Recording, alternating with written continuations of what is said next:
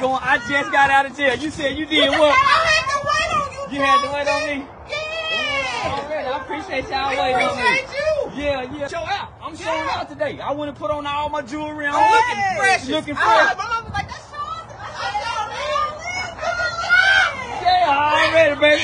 Yeah, shit. Yeah, I had to man put on all my jewelry on. Fresh up out of jail. I heard these niggas been talking and celebrating. Yeah, I heard these niggas been talking and celebrating. Like I got some P Diddy charges. No, man, no. We come say, man, we coming up out the bank with the money. Yeah, yeah, we coming up out the bank with the money, man. Yeah, yeah, we coming up out the bank with the money. Shit, these high ass lawyers is like genies, that nigga say. We coming up out the bank with the money, man. Yeah, yeah, yeah, we coming up out the bank with the money. That's all I'm gonna say. Yeah, yeah, yeah, the judge was mad at me. Uh, yeah, come on, come get a picture. Yeah, yeah, yeah. nah, then, yeah, then we get the interview money later. Yeah, yeah, we got a hundred thousand.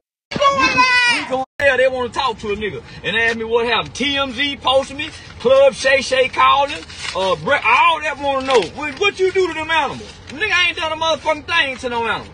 Yeah, yeah, let me see. We just leaving the bank with all this here, man. Yeah, yeah, we just leaving the bank with all this here.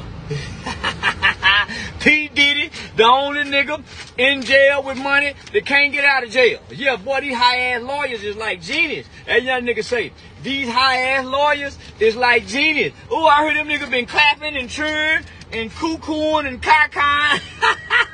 say I heard them niggas been cheering and thought a nigga was gone forever. They thought I had P. Diddy charged him. I wasn't gonna never come home.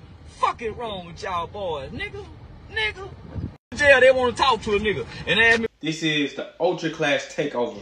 This video is brought to you by Ultra Class Family.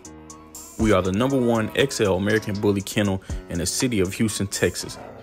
We have puppies available. Hit us up 346 462 0667. We also have an investment program where you can invest into one of our litters and receive a profit up to 15 uh, or 16,000. We are Ultra. Y'all hit the link in the description and find out exactly what I'm talking about.